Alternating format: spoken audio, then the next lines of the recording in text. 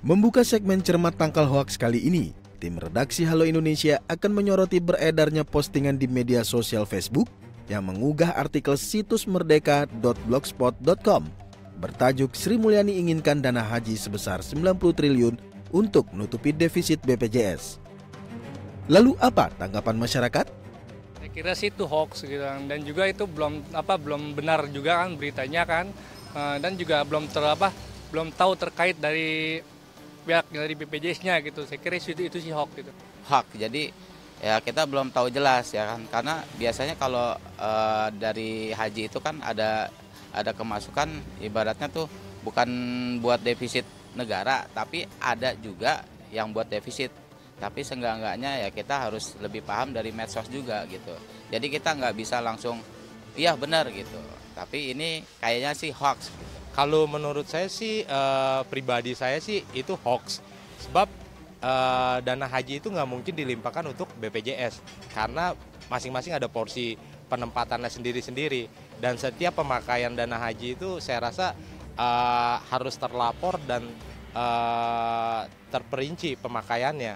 Nggak bisa hanya dilimpahkan langsung ke BPJS. Lalu apakah ini fakta atau hoax?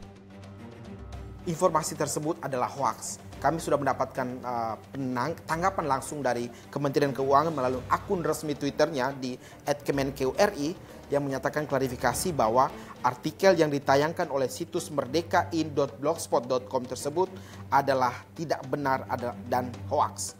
Pihak Kemenkeu menyatakan berita tersebut tidak benar dan dipublikasikan oleh situs yang tidak kredibel yang tidak terdaftar pada Dewan Pers.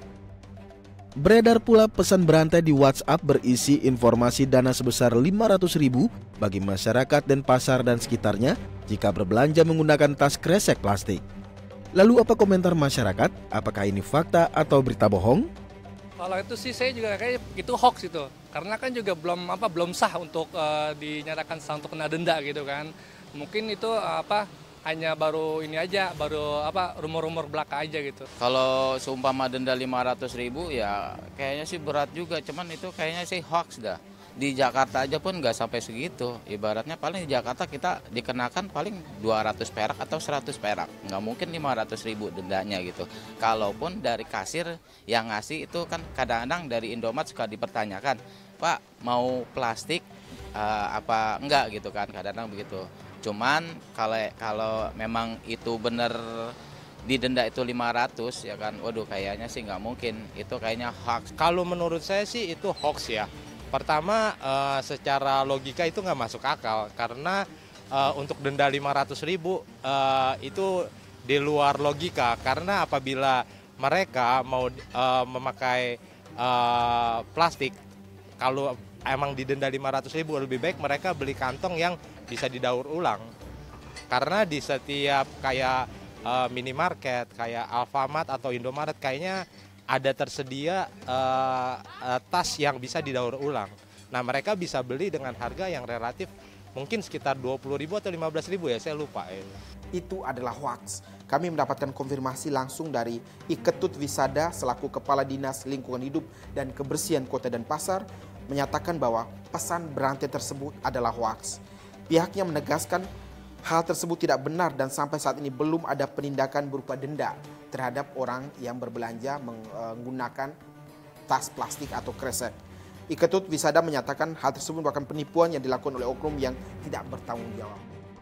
Selain itu, media sosial juga ramai dengan unggahan foto patung di Jawa Tengah yang sangat mirip dengan salah satu anime asal Jepang yaitu Gundam Exia.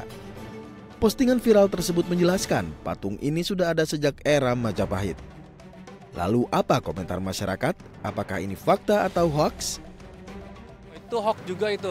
Saya kira sih yang zaman Majapahit itu belum ada itu. Itu cuman apa? Cuman ya paling berita-berita bohong aja itu aja. Kalau Majapahit itu, itu kan itu udah aduh berapa tahun yang lalu udah lama itu. Kalau masalah robot, robot itu kan baru sekarang ini ya kan masa sekarang yang yang ibaratnya yang benar-benar lagi diiniin ya kan lagi dibikin. Cuman kalau buat dari tahun Majapahit kayaknya nggak mungkin lah ya. Ya karena kan itu kan zaman dulu nggak mungkin orang-orang zaman dulu sepintar kayak zaman sekarang bikin robot gitu. Kayaknya hoax dah itu. Itu adalah hoax Informasi tersebut ternyata tidak benar. Patung Gundam Exia ini merupakan karya dari seorang pria bernama Yatman berumur 31 tahun yang berasal dari Kabupaten Semarang. Yatman sudah membuat patung ini sejak beberapa tahun yang lalu dengan bahan semen dan kerangka besi. Dirinya mengaku membangun patung tersebut untuk menjadi tanda dari rumahnya, sehingga dapat disimpulkan bahwa kabar patung Gundam ini merupakan artefak dari zaman Majapahit adalah hoaks dan tidak benar. Pemirsa pastikan informasi yang Anda bagikan adalah fakta, bukan berita bohong yang akan merugikan diri Anda sendiri dan orang lain di sekitar Anda. Saring sebelum sharing. Novi Permatasari, Yoga Pratama, Dai TV.